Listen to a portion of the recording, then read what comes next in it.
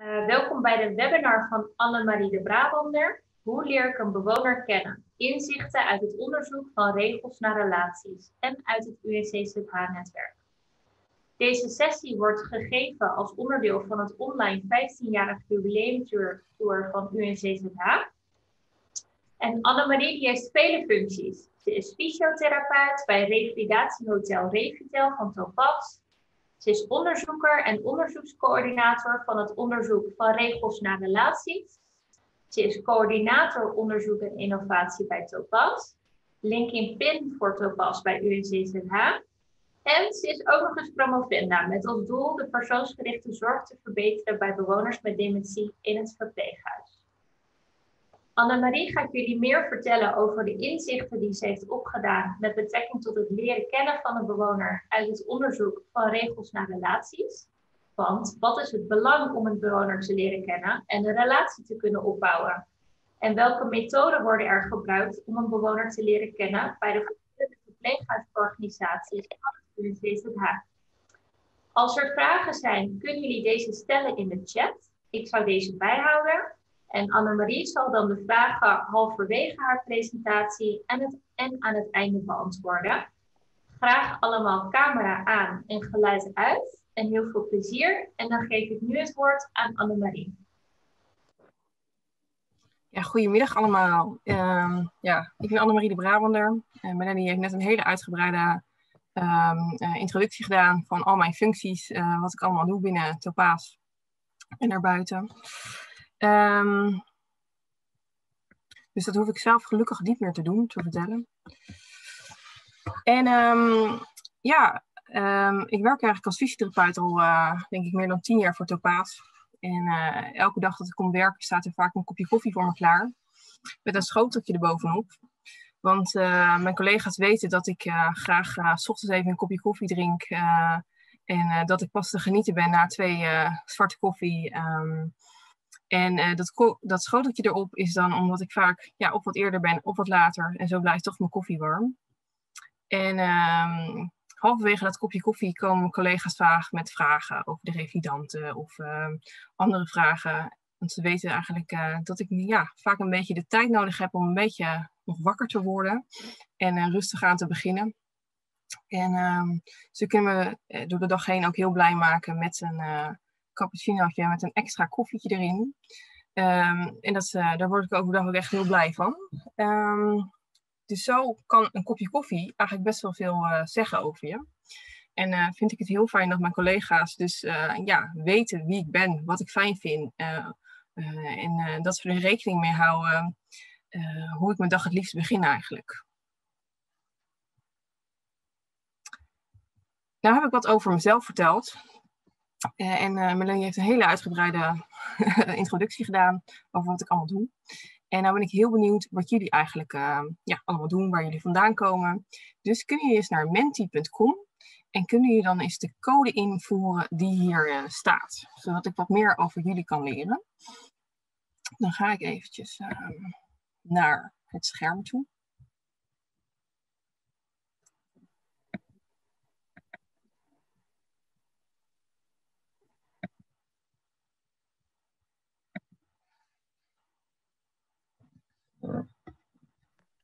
Even de vraagje hoor, want hoe kom ik daar nu? je gaat naar uh, of je mobiel of op je, op je computer of laptop of wat je, of uh, ga je naar, maak je dus een uh, Chrome of iets anders open, een Internet Explorer en dan typ je in www.menti.com. Bij mij staat die al open. Moet ik dan, moet ik dan die code ergens invullen?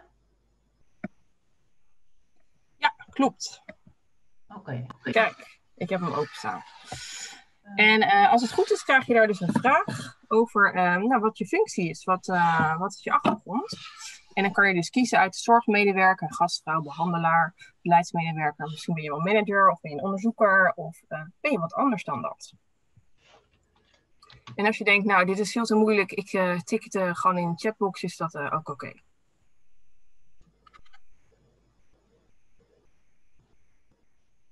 Nou, de antwoorden stromen een beetje binnen. Vooral veel uh, anders gesoortende, zou ik maar zeggen.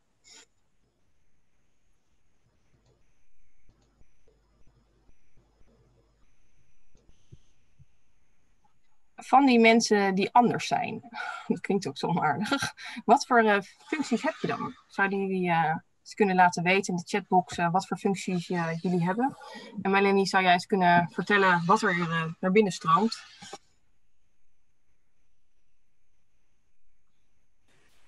Geneeskundestudent, kennismanager, praktijkopleider, coördinator informele zorg, trainer ouderenzorg,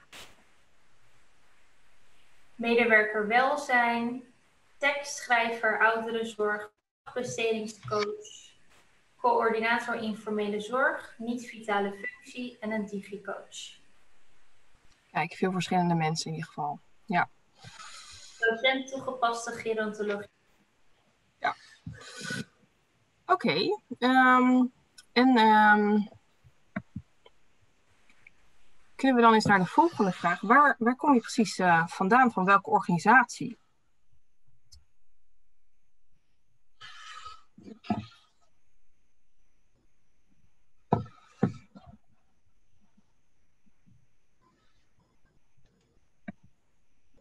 En uh, als je van iets anders komt, zou je dan in een uh, chatbox kunnen zetten. Want ik zie dat ik die optie niet eens heb genoemd.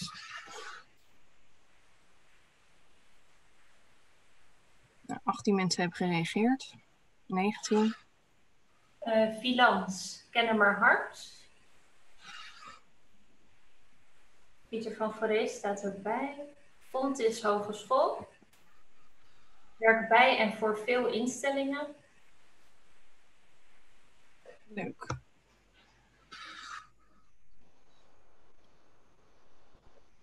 Oké. Dan gaan we naar de volgende vraag. Waar word jij nou gelukkig van?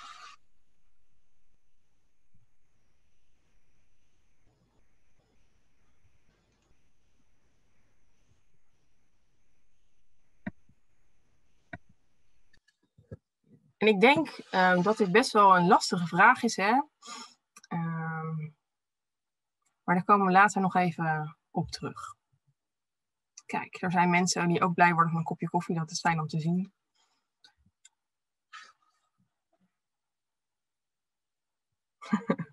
sommige uitspraken van mijn kinderen, sommige ook niet. Dat maakt me heel nieuwsgierig.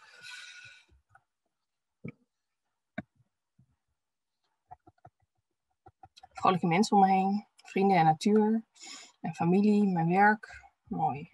Ja. Zo.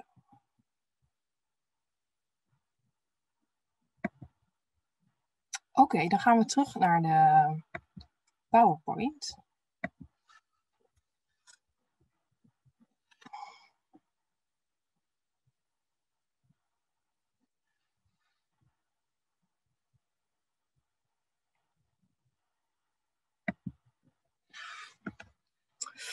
Um, ik ga, wat vertellen over het actieonderzoek wat ik heb gedaan uh, voor radicale vernieuwing verpleeghuiszorg van rechts naar relaties bij.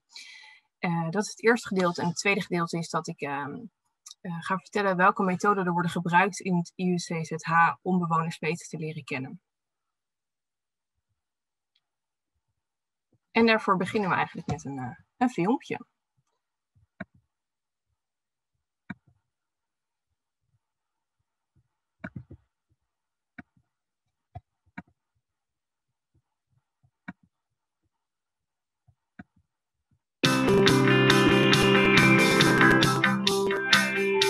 Als je thuis iemand wil laten logeren, of wat dan ook, pannenkoeken wil bakken op je woning, in hoeverre mag je doen wat je wil eigenlijk? En wie bepaalt dat? Ik denk dat wij moeten doen is ophouden om weer op de weg te zetten en te laten zien van wat is nou eigenlijk onze droom. En gewoon gaan realiseren dat die droom werkelijkheid wordt.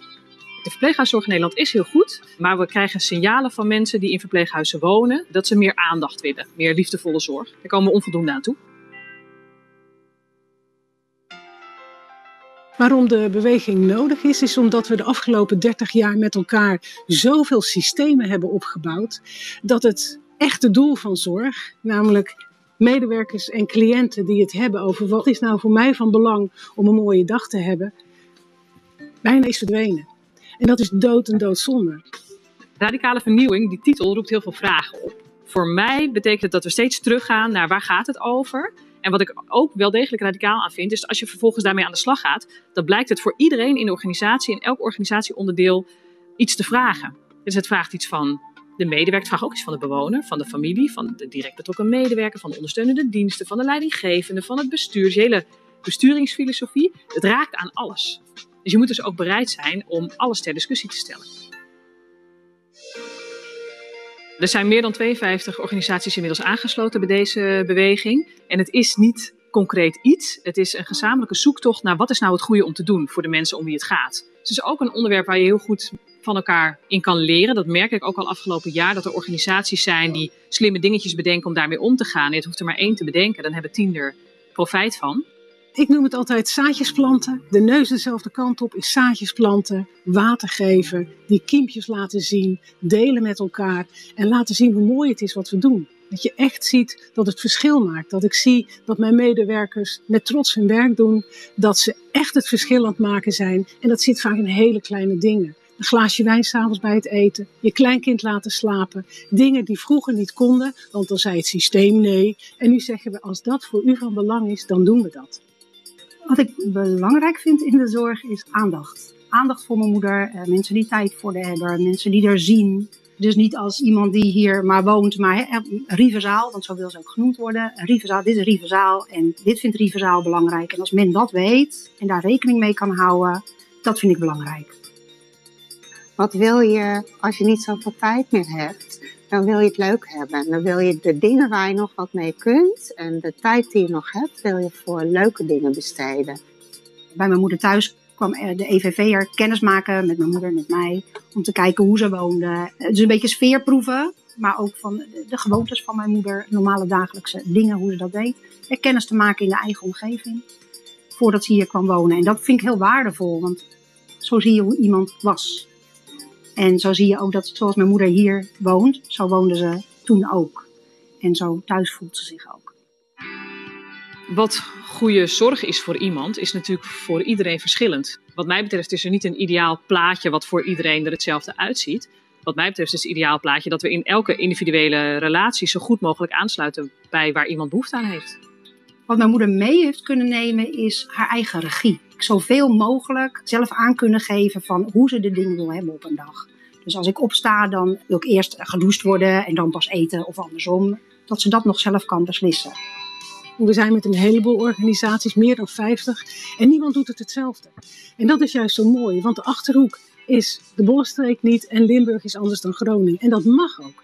Maar de essentie is hetzelfde. En dat is zorgen dat je doet wat voor die ander van betekenis is, zodat je toch jezelf mag zijn. Dus er is niet één manier. Er zijn duizend manieren, maar de rode draad is steeds kijken naar hoe ontstaat goede zorg. En die ontstaat altijd tussen in de driehoek van cliënt, familie en medewerker. Daar moet je ruimte geven.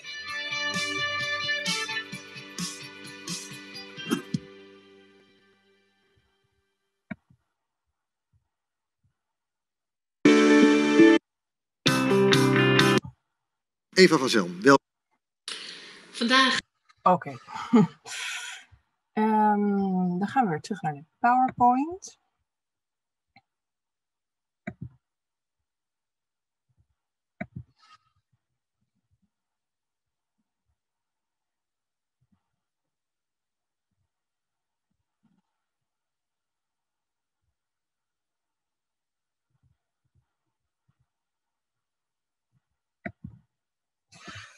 Uh, dit is dus uh, van rechts naar relaties, hoe we dat bij Topaas hebben gedaan. En hier in dit filmpje zag je uh, Eva van Zelm en Lia de Jong, projectleider en bestuurder van Topaas.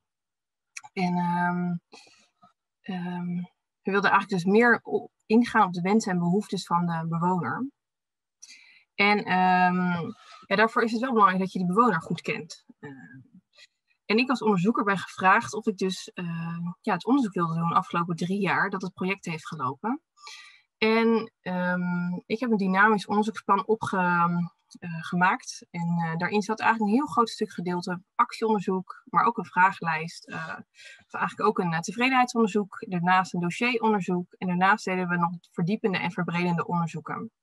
En dit dynamisch onderzoeksplan, dat betekent eigenlijk dat ik het onderzoek kan aanpassen aan wat er nodig was. En dat was ook zo met het project hoe we dat hebben gedaan. En uh, adviseur van het onderzoek was uh, Wilco Achterberg.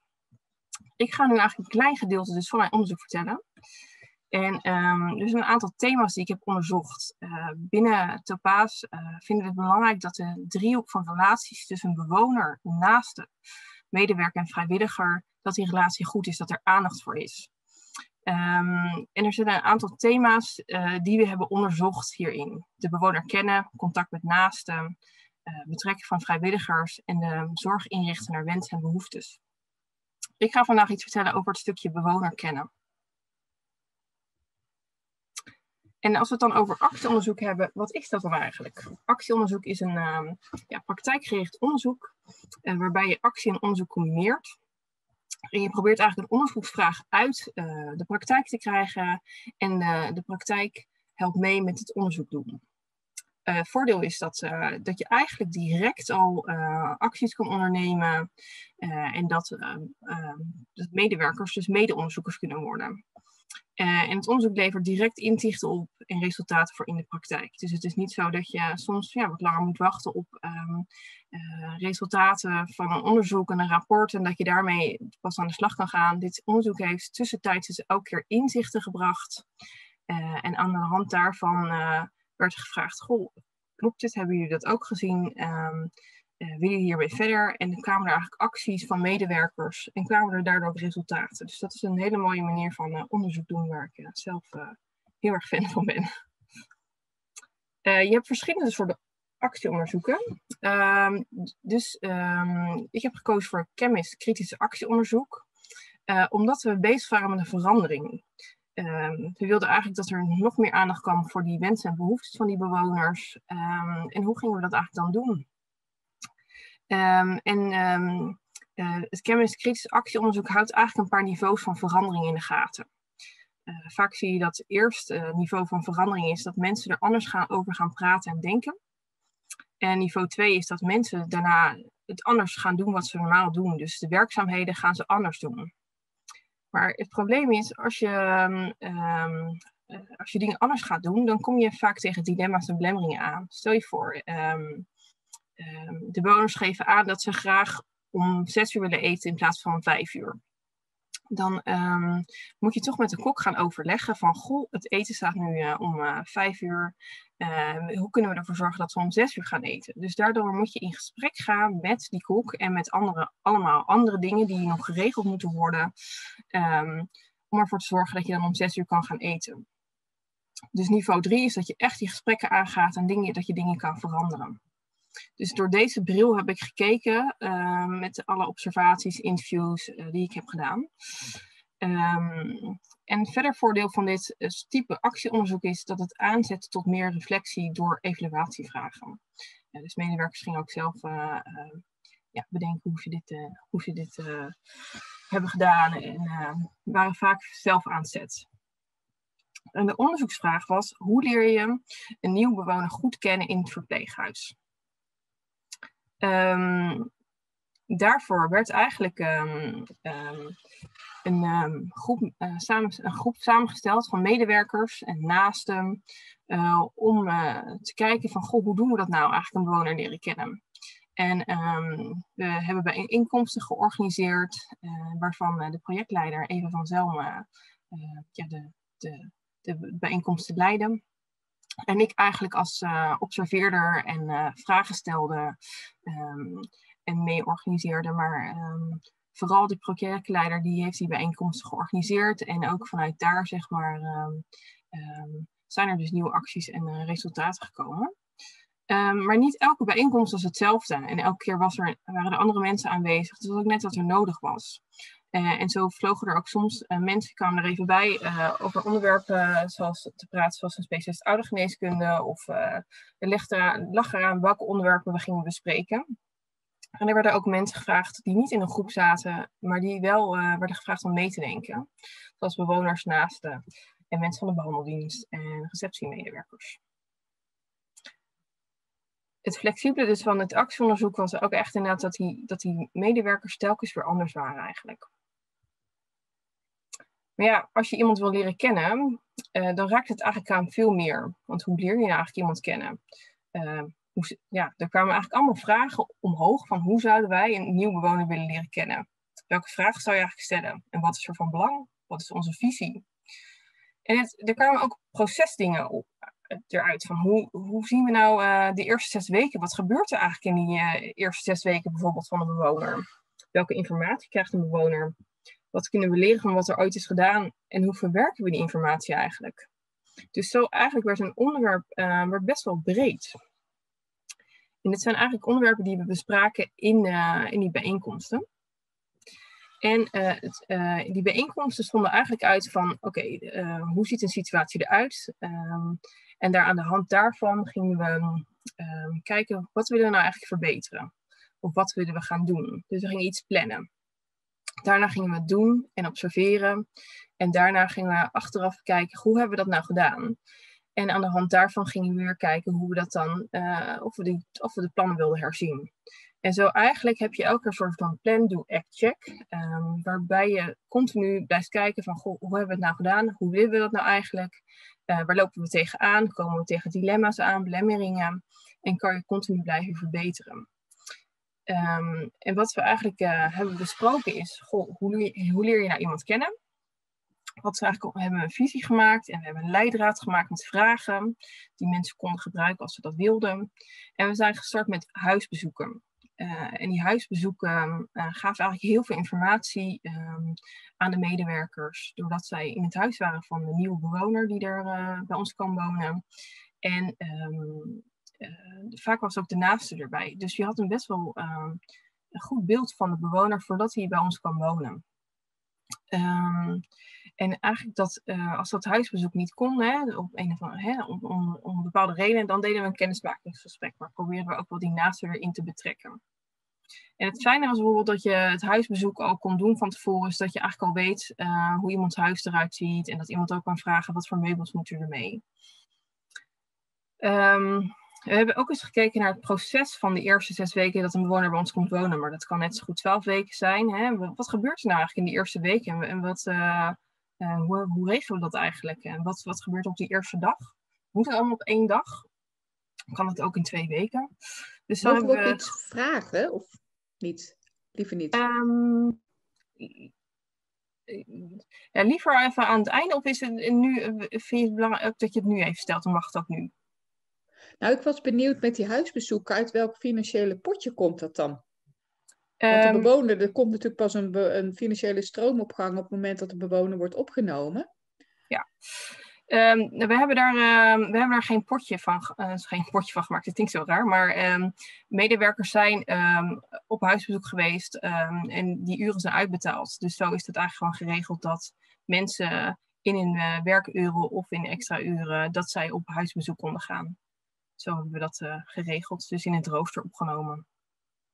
Of in de vrije tijd. Ja, Ja, die, dat snap ik. Alleen ehm, eh, de organisatie krijgt pas betaald op het moment dat een bewoner wordt opgenomen. Dus Ja. je, je gaat nu iets doen terwijl je er nog niet voor betaald wordt. Dat, dat is even mijn klopt. vraag. Dat, eh, Ja. dat, is, ja, dat is zo. Ja. Dus wij hebben dat gewoon zo geregeld door medewerkers dat te laten doen. Ook al krijgen we er nog niet voor betaald eigenlijk. Ja. Ik weet niet precies hoe dat, eh, eh, hoe dat geregeld is, eerlijk gezegd. Eh, ik wist dat niet, maar, maar we hebben gewoon de medewerkers dat laten doen in, in hun uren. Ja. Ehm, en eigenlijk kwamen we er ook achter dat ehm, ja, als we dan dingen gaan veranderen of gaan kijken hoe die bewoner leren kennen, dan moet die informatie ook ergens kwijt. Dus hoe ziet het dossier eruit of een ECD eruit? En als we iemand een informatiemap geven, als iemand nog niet bij ons woont, ehm, ja, wat staat er eigenlijk in? Dus we hebben heel breed gekeken naar dit onderwerp. Nou, dit is bijvoorbeeld hoe we hebben gekeken naar de eerste zes weken. En we hebben alles op een brown paper gedaan en ehm, eh, bekeken hoe, eh, waar- wat we allemaal tegenkwamen. Je komt heel veel tegen. En dit is bijvoorbeeld het dossier, hebben we helemaal uit elkaar gehaald, gekeken wat, wat zit er nou in. Kunnen we dat misschien op een andere manier doen? En we hadden op dat moment nog een eh, papieren dossier, zodat we goed konden ehm, kijken hoe we dat eh, het beste wilden indelen in het nieuwe ECD. En nu op dit moment eh, zijn ze bezig om het ECD, hè, is in, in waar dit was, hebben ze, hebben ze al een elektronische ECD waar het uh, uh, ingedeeld is zoals we dat eigenlijk zouden willen. En andere locaties volgen binnenkort ook. En eigenlijk wat ik als, als onderzoeker deed, was observeren van die bijeenkomsten, interviews doen van bewoners, van naasten, van medewerkers. En ik uh, deed uh, documentenanalyse. Um, en daarbij keek ik eigenlijk naar de inhoud van hoe leren we nou die bewoner kennen en wat is er dan van belang. En voor de rest keek ik naar het proces. Hoe doen we dit nou eigenlijk? Uh, wat voor niveaus van verandering waar ik net over vertelde? Welke dilemma's komen we tegen? Welke belemmeringen? En wat komt er nou eigenlijk uit? Wat hebben we nou bereikt met elkaar? En het leuke was ook dat ik, um, uh, dat ik ook medewerkers um, uh, heb gevraagd of zij ook interviews kunnen doen. Bijvoorbeeld, hè, hoe hebben zij het, hoe hebben bewoners het, het, huisbezoek ervaren? Hoe vonden ze het als ze bij ons kwamen wonen? en um, de medewerkers hebben ook de bewoners gevraagd wat zij nou belangrijk vinden om de bewoners nog meer te leren kennen eigenlijk. Dus dat was het, voordeel van actieonderzoek. Ik heb ook een uh, evaluatiebijeenkomst georganiseerd over hè, alle bijeenkomsten die we hebben gehad. Wat heeft dat nou opgeleverd voor de bewoner, voor de naaste, voor de medewerker, maar ook de vrijwilliger? En wat heeft het persoonlijk voor je opgeleverd? Um, en daarbij kwam eigenlijk uit dat, dat, dat ja, het bijzonder is om zo'n grote groep met mensen bij elkaar te hebben, met verschillende achtergronden, maar dat je elkaar zo mooi kan aanvullen. wat eigenlijk het belangrijkste wat eruit kwam.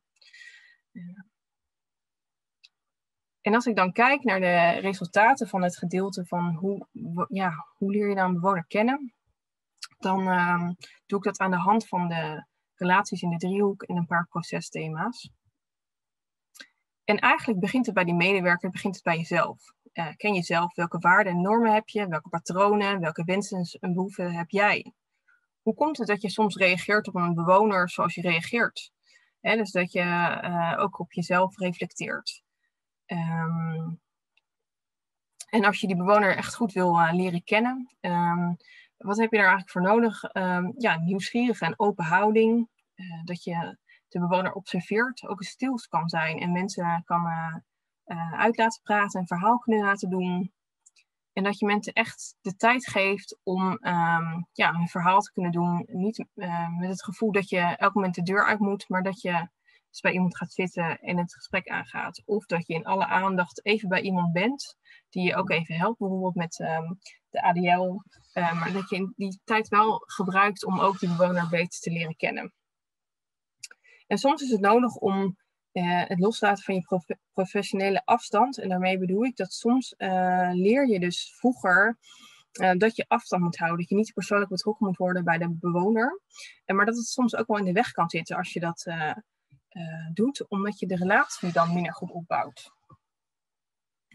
Um, als je iemand kent, hè, iemand verandert. Dus je moet iemand beter, uh, kan je beter leren kennen, maar eigenlijk moet je daar ook mee bezig blijven, omdat iemand continu verandert zoals jij en ik eigenlijk. Um, maak gebruik van alle momenten met de bewoner. Dus betekent dat, ja, dat, op het moment dat je iemand met de ADL, wat ik net vertelde, dat je er toch in aandacht bent eh, en dat je toch een, moment van verschil kan maken. Uh, je leert het bewoner het beste kennen als je open vragen stelt uh, en narratieve informatie uh, vraagt.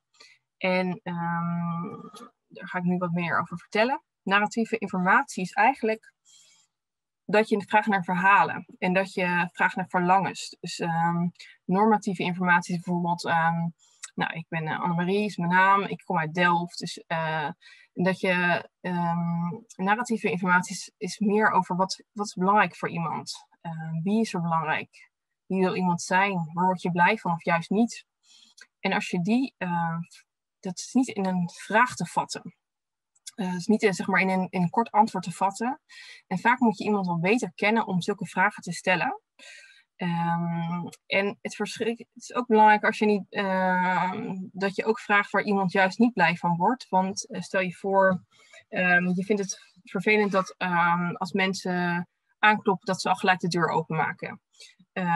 als, dat je elke dag, als je dat elke dag vervelend vindt, dan heeft dat uh, invloed op je dag. Uh, dus juist ook vragen wat iemand niet prettig vindt, is ook belangrijk. Je moet vaak al een wat betere relatie hebben, hè, of een relatie hebben met iemand om dit soort vragen te kunnen stellen.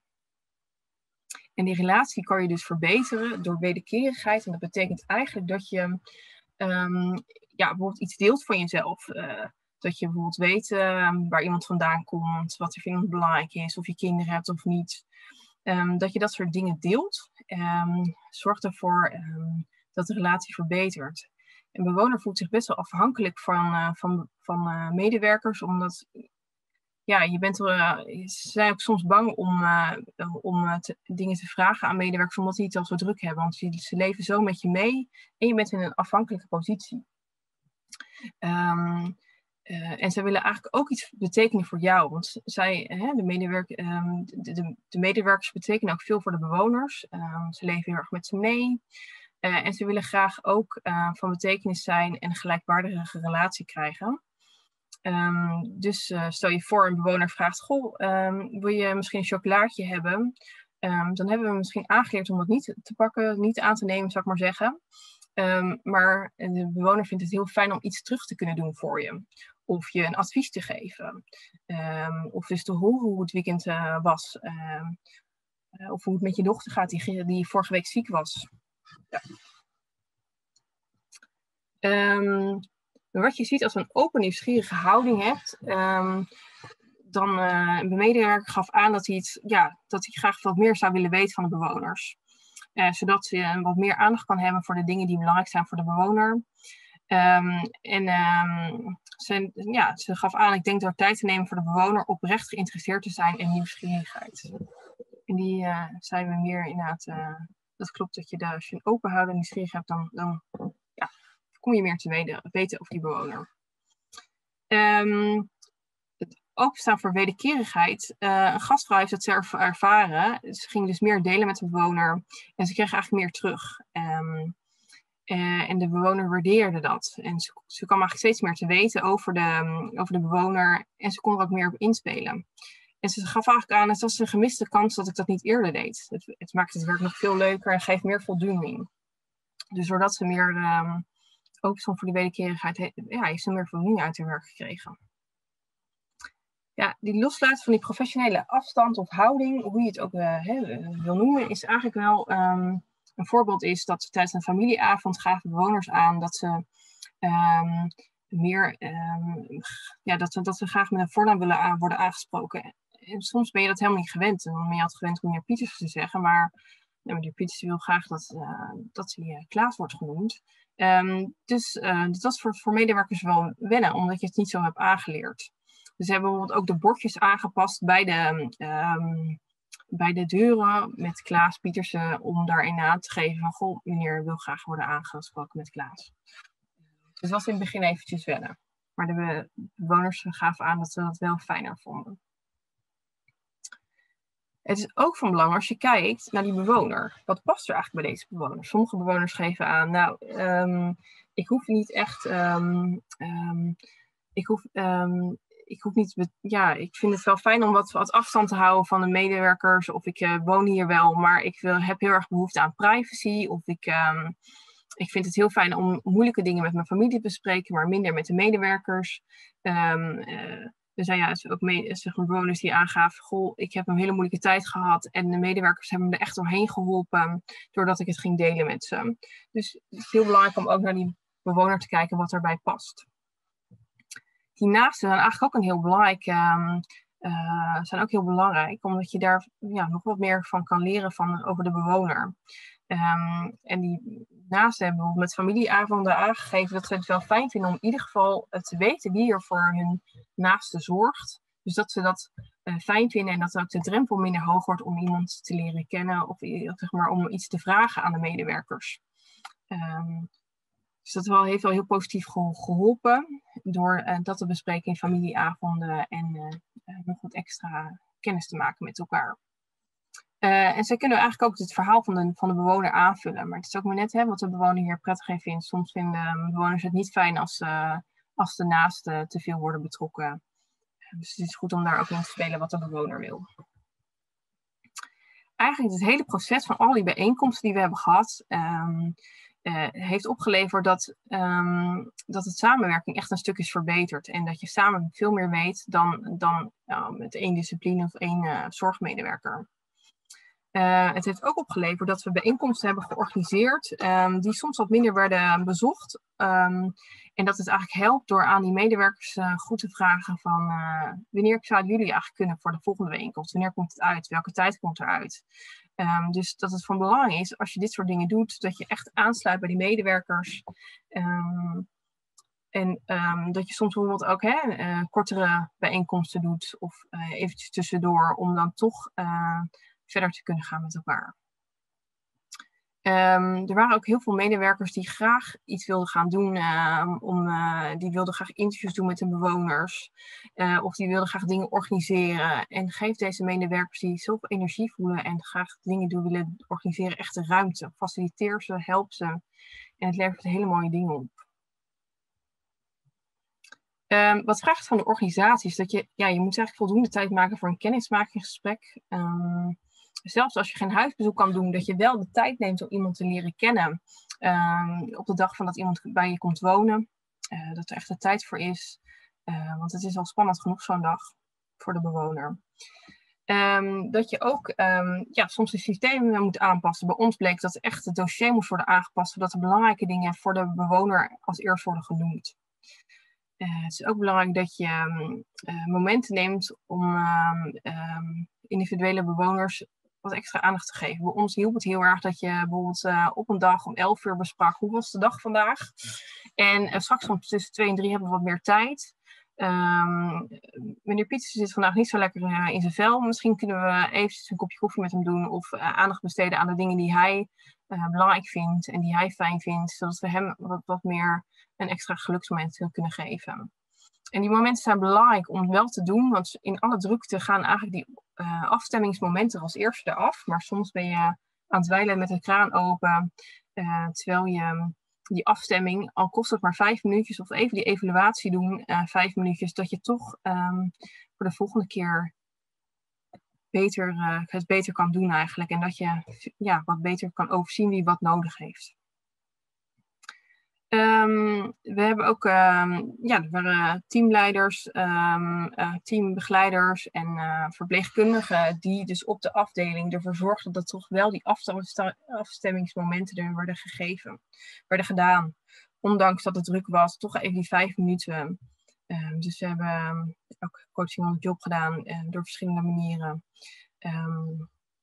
om eigenlijk ervoor te zorgen dat die bewoner telkens heel veel aandacht krijgt. En wat we hebben eigenlijk gezien, hè, door, door, door het vragen naar narratieve informatie, open te zijn en wederkerigheid, dat die relaties zich eigenlijk verdiepen. En dat je inspelen op de wensen en behoeftes door, door iets mee te doen, zorgt voor meer geluksmomenten voor beide bewoners, maar ook bij de medewerkers. Die halen veel meer voldoening uit hun werk. Uh, en dat dilemma's en belemmeringen bespreekbaar maken, zorgt ervoor dat de relatie toch uh, dichter bij elkaar kwamen te liggen. En wat hebben we dan gedaan is het kennismakingsgesprek of huisbezoek. Hebben het cliëntendossier hebben we aangepast met meer narratieve informatie voorop. En we hebben meer aandacht voor wat belangrijk is voor de bewoners. Um, we gaan nog even naar menti.com. Het was natuurlijk een beetje een rare vraag, waar word je nou gelukkig van? Net. En het, ik weet niet of je een beetje een ongemak voelde, maar als je iemand niet zo goed kent, en ook zeker zo via dit uh, scherm, is het misschien wat... Uh, wat eng om dat soort informatie te geven. Um, dus het is belangrijk om eerst um, wat beter de bewoner te leren kennen. Voordat je dit soort vragen eigenlijk stelt.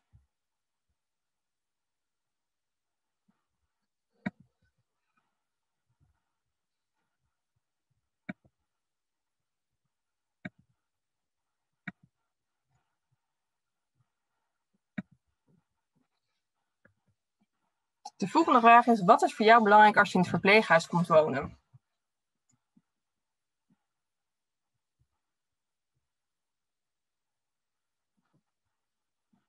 Wat is er nou voor jou belangrijk uh, als je in het verpleeghuis komt wonen? Je mag het in de chat zetten of um, je mag het... Uh... Rie, ik heb in de Mentimeter, waar word jij gelukkig van? Oh. Ben ik de enige die dat heeft? Dan moet je denk ik naar de volgende toe. Dan komt er boven zo'n dingetje uit dat je naar de volgende vraag eh, kan, volgens mij. Of je kan het in de chat zetten als het eh, even niet werkt.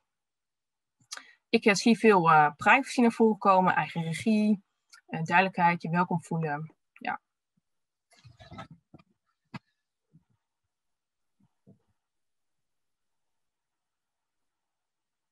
Natuur. Ja. Aandacht, lekker eten, natuur. Sociale contacten, zelfstandigheid. Dat ik mezelf kan blijven en mezelf thuis als mogelijk kan voelen. Ja. In de chat komt naar voren doen wat ik wil. Ja. Contacten met mensen die ik al ken.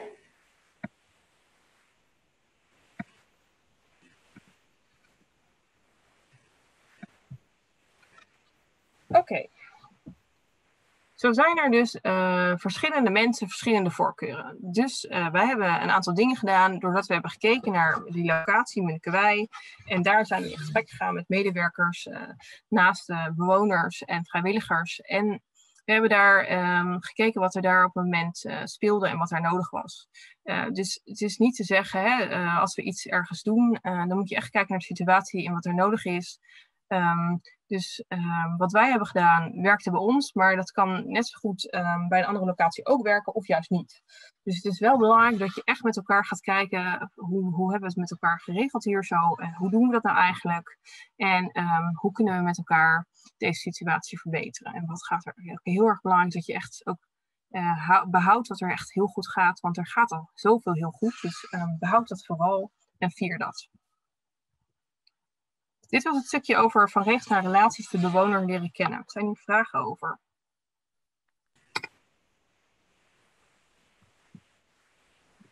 De vragen kunnen jullie stellen in de chat.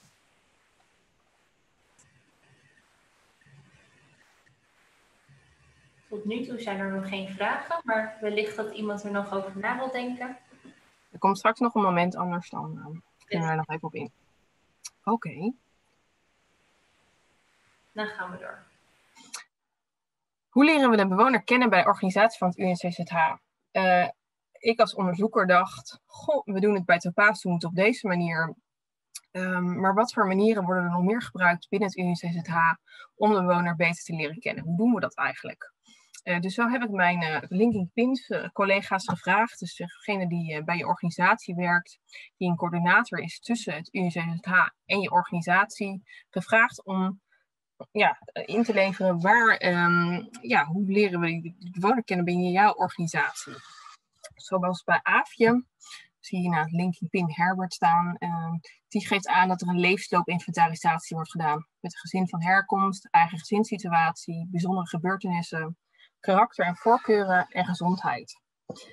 En um, het is natuurlijk net hoe je, dit, uh, hoe je deze vraag stelt. En maar het is denk ik wel vergelijkbaar dat dit soort dingen worden denk ik in meer verpleeghuizen uh, gedaan.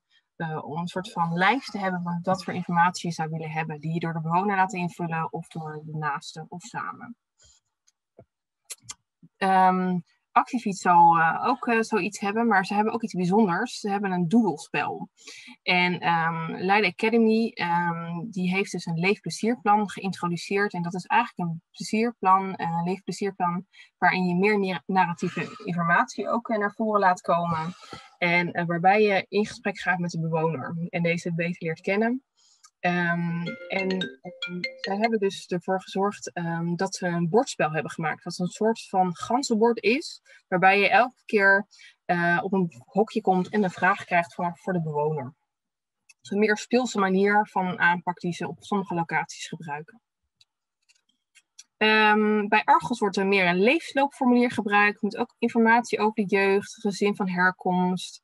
Um, wat hierbij interessant is, dat ze ook specifiek vragen naar de muziekvoorkeur. Um, dus hier wordt inderdaad ook een soort van, hè, wordt ook gevraagd met een uh, lijst hoe mensen uh, ja, hun leven hebben geleid en hoe ze hun leven leiden. En de muziekvoorkeur komt hier ook wel goed naar voren toe, dat mensen, dat zegt ook iets over hoe iemand is wat belangrijk voor iemand is. Bij Florent gebruiken ze een uh, theorie uh, over persoonsgerichte zorg van Kitwood. En het uh, omvat eigenlijk een paar onderwerpen over comfort, identiteit, gehechtheid, bezig zijn, erbij horen en als kern van het model liefde. Dus de behoefte aan liefdevolle aandacht en respect. En als je die ehm, anderen om het hartje heen, zeg maar, met elkaar uh, doet. Dus je zorgt ervoor dat iemand erbij hoort, dat ehm, je het gevoel hebt dat je bezig bent, uh, dat je kan doen wat je fijn vindt, dat je mag zijn wie je bent, dat je een goed gevoel hebt over jezelf. En dat je, je, ja, je comfort betekent eigenlijk dat je een behoefte hebt in warmte en tederheid. En dat het en troost, dat je dat ook krijgt. Dat speelt allemaal een rol, zodat je eigenlijk ehm, ja, die liefde meer kan voelen. En dat hebben zij verwerkt dan in uh, ook hun lijst om iemand te leren kennen. Um, bij Larens heb je ook een levensloop met allemaal verschillende onderwerpen, maar ze hebben daarnaast ook een project om naast meer te betrekken met een waardevol uh, methodiek, waardevol werken. Um, zodat je meer kan aansluiten op wat betekenis geeft aan de dagen voor de bewoners. Daarnaast hebben ze ook een project met een warme overdracht um, om te delen welke informatie van belang is. Om op uh, ja, de, de, ja, de bewoner beter te leren kennen en de verhuizing beter te laten gaan. Um, en daarnaast is er ook speciaal voor bewoners met NAH, dus niet aangeboren hersenletsel, een methodiek gooi op je vork om nieuwe bewoners beter te leren kennen. Je hebt ook bij Marente heb je ook een uh, levenswandel, een levenswijze. Ook leuk om te zien dat ze allemaal een andere naam hebben, maar wel ongeveer dezelfde inhoud hebben. Maar er zijn ook dialoogsessies over persoonsgerichte zorg. Wat is het? Wat doen we dan als we persoonsgerichte zorg uh, geven? En welke voorwaarden zijn er nodig om persoonsgerichte zorg uh, te geven? Dus daar hebben ze bij Marente echt uh, sessies voor aan besteed om hier wat meer over na te denken. En ze hebben een ECD wat heet U bent uniek. Um, dus dat is ook wel mooi. Het, de naam, hoe je iets noemt, zegt ook wel vaak wat. Uh, bij Pieter van Vrees uh, geven ze ook een uh, training. En hebben ze ook die vijf behoeftes die we net zagen met het hartje in het midden van Kitwood. Um, ook comfort, identiteit, gehechtheid, erbij horen, bezig zijn. Um, en ze hebben zes factoren, gedragsfactoren. En waar ook inderdaad persoonlijkheid, levensloop, gezondheid, lichamelijke conditie, fysieke omgeving en sociale omgeving naar voren komt. Dat is ook meer een vragenlijst over welke dingen er voor belangrijk zijn, belangrijk zijn voor iemand. Uh, bij Safir hebben ze ook een soort van in, uh, um, een lijst hè, waarmee ze iemand leren kennen. Maar ze hebben ook bijzondere dingen zoals een intake door vaktherapie met vier beeldende oefeningen en twee muziekoefeningen. Um, en daarnaast hebben ze ook bij bewoners met uh, Korsakoff een kunstzinnig begeleidingsprogramma. Het heet Vruchten van het Leven, waarin het levensverhaal van de oudere mens centraal staat. Nou, uh, bij Topaas heb je dus ook naast dat we het kennismakinggesprek met het huisbezoek hebben gedaan, hebben we ook het doelwoord. Dat komt ook van Leiden Academy. Dus wat is er belangrijk voor iemand? Waar uh, uh, ervaart iemand meer geluk van? en um, bewoners hebben dus samen met medewerkers, uh, medewerkers hebben in gesprek met de bewoners hebben zij een bord gemaakt met wat van belang is voor iemand. Dus bijvoorbeeld familie en vrienden staat hierop. Um, wat vindt iemand lekker qua eten en drinken? En aan de hand van dat bord kan je dus iemand beter leren kennen, maar ook het gesprek aangaan. Bij WZH heb je ook een huisbezoek. En ze hebben er uh, ook een uh, film over gemaakt, Ken jij mij? Het is echt moeite waard om het uh, te zien. Um, en um, ze hebben ook um, levensschilderijen die worden gemaakt van de persoon met dementie samen met persoon en familie. Uh, hier in het midden zie je een plaatje, uh, zie je dus een, uh, een levensschilderij, wat voor iemand van belang is. En bij Zonnehuisgroep hebben ze Dit ben ik. Dus eigenlijk een map met allemaal um, informatie over bewoners. Um, wat zegt wat, hoe iemand is. en als, om dingen anders te doen, hebben ze ook een memory spel gemaakt met kenmerken van bewoners. Dat kunnen bewoners spelen, maar ook medewerkers, zodat je mensen beter leert kennen. Uh, dus elke um, organisatie heeft denk ik wel een manier van uh, iemand leren kennen. Uh, door bijvoorbeeld een lijst of iets wat ze moeten invullen. Maar ook zijn er dus initiatieven um, die misschien wat meer in spelvorm zitten. Of die misschien door filmpjes. Het is best wel breed of, of een gesprekstoel die ervoor zorgen dat je bewoner kan leren kennen beter. zijn er nog vragen? Ja, er is een vraag van eh, Linda. Zij vraagt: Hebben jullie ook gekeken naar het leren kennen van mensen die al ver in de dementie zijn? Als je eigenlijk verbaal alleen nog iets aan de naaste hebt. Ehm, het is natuurlijk lastiger om die eh, mensen met dementie eh, te leren kennen, zeker als ze zelf uh, dit niet meer kunnen aangeven. Dus dan moeten we eigenlijk veel meer in gesprek zijn met de familie en daar eigenlijk en met de medewerkers om daar een beter beeld voor te krijgen. we hebben daar meer observaties gedaan eigenlijk. Um, en net zoals van Kidswood, persoonsgerichte zorg leert ook mensen beter kennen. En um, ja, dus dat is wel. Hè, we hebben vooral op de somatiek hebben we eigenlijk meer dit soort dit onderzoek gedaan en ehm, minder op de dementieafdeling. Zijn er verder nog vragen?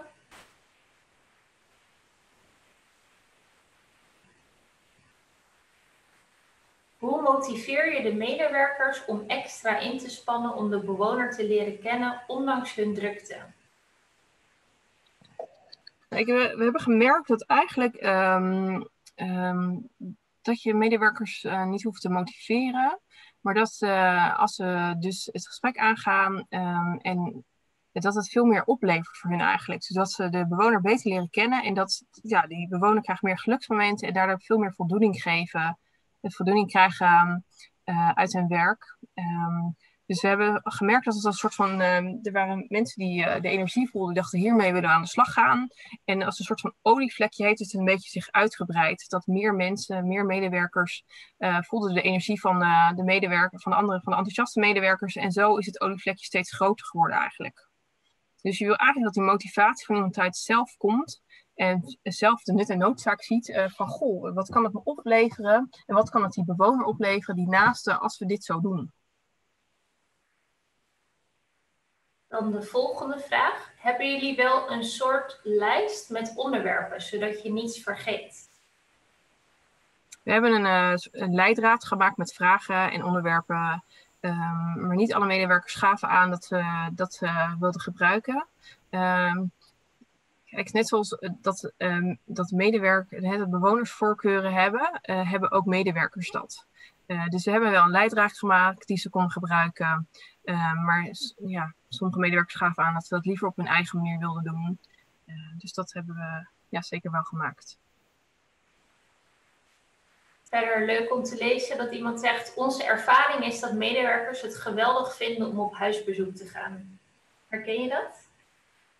Ja, ze, ze leerden eigenlijk nog beter de bewoner kennen door eigenlijk in die, in, die, in die huiskamer te zitten en om je heen te, krijgen, vragen, te zitten en te vragen ook bijvoorbeeld: Goh, um, naar de foto's daar die er staan of de schilderijen, dat ze daardoor veel meer informatie kregen over die uh, bewoners. Ze waren echt zeker enthousiast om uh, die huisbezoek te doen. Ze kwamen heel enthousiast terug met veel meer informatie. Ja.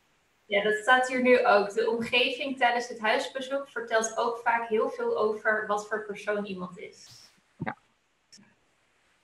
Uh, met wie wordt de informatie vervolgens gedeeld? Komt het bijvoorbeeld ook terecht bij activiteitenteams en vrijwilligerscoördinatoren? Uh, het, uh, de informatie wordt in het uh, ECD gezet, dus daar wordt het, daar wordt het gedeeld. en daar ehm, kunnen ook de activiteitenbegeleiders dingen toevoegen. en ook de vrijwilligerscoördinator. Ja. Um, kan de reguliere intake niet deels thuis plaatsvinden vanwege die kostenkwestie? nog één keer de vraag?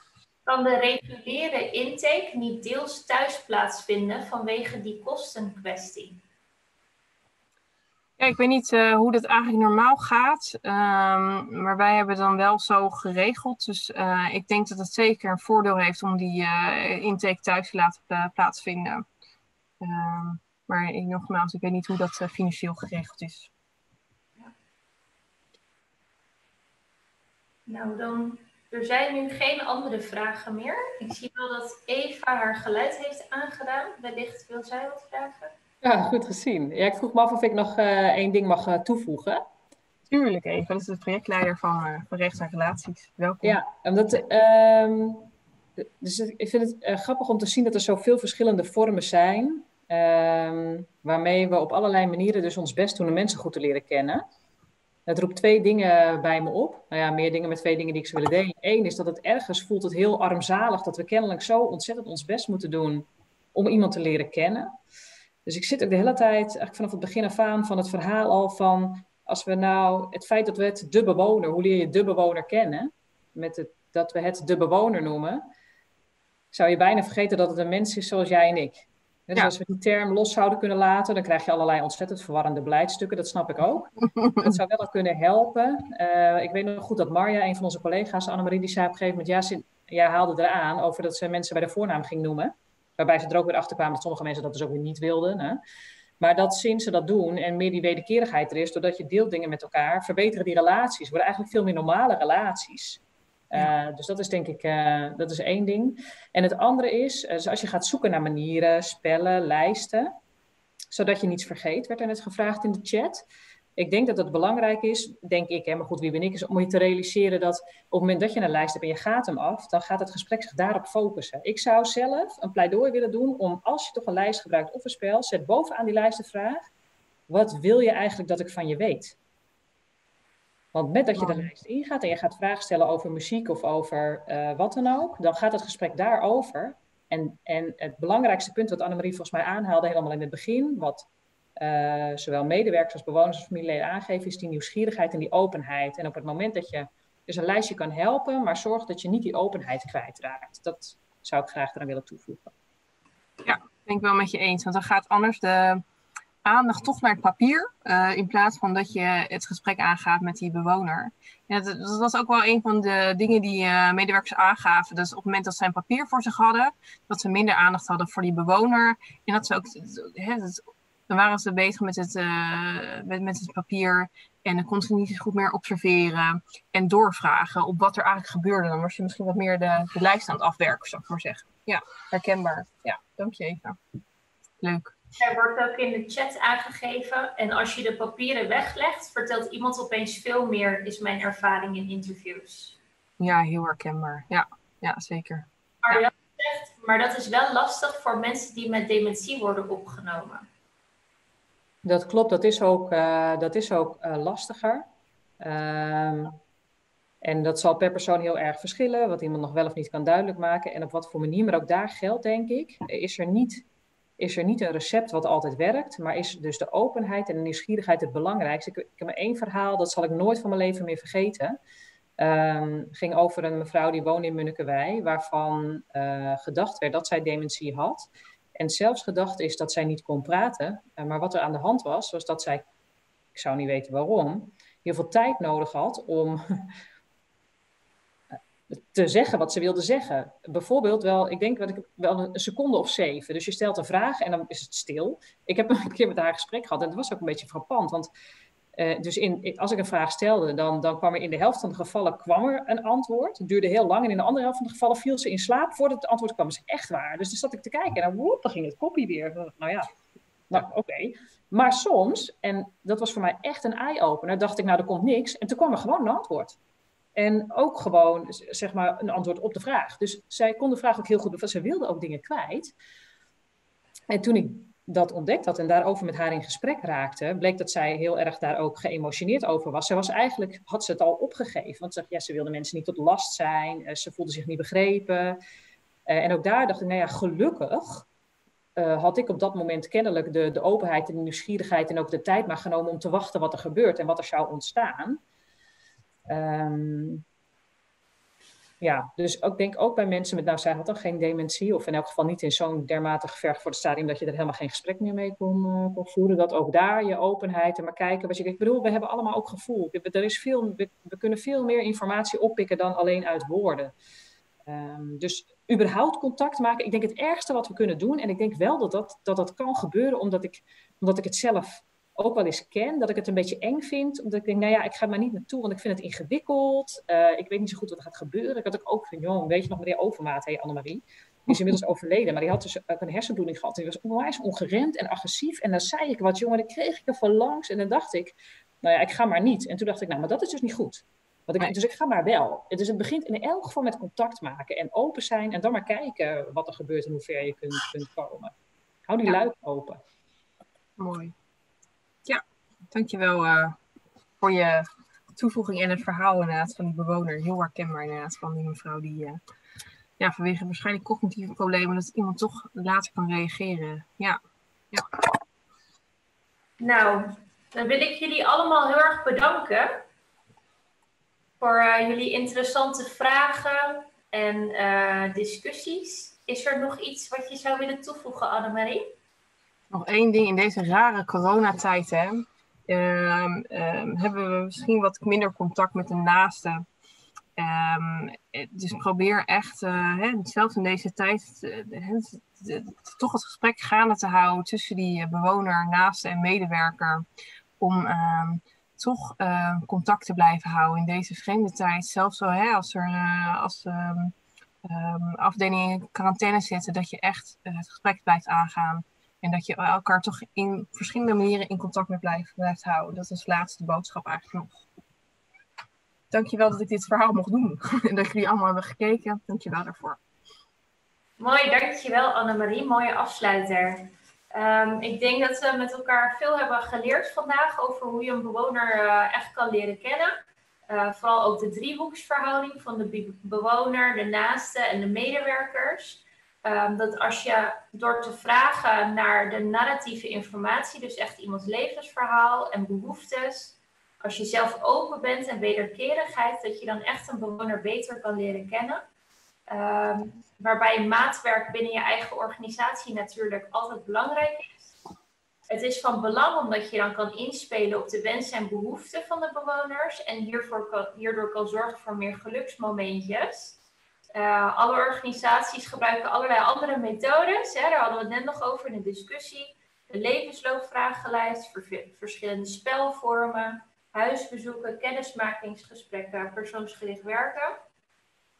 Um, super interessant. Ik denk dat we allemaal veel hebben geleerd. Dankjewel Annemarie. Uh, ik wil jullie allemaal heel hartelijk danken voor jullie aandacht, uh, de leuke interactie en jullie ideeën die we zeker zullen meenemen. Vergeet niet dat er nog veel meer sessies zijn gedurende november en december. En meld je dan vooral aan via de website van UNCZH. Nogmaals dank en tot ziens. Dankjewel Melanie ook.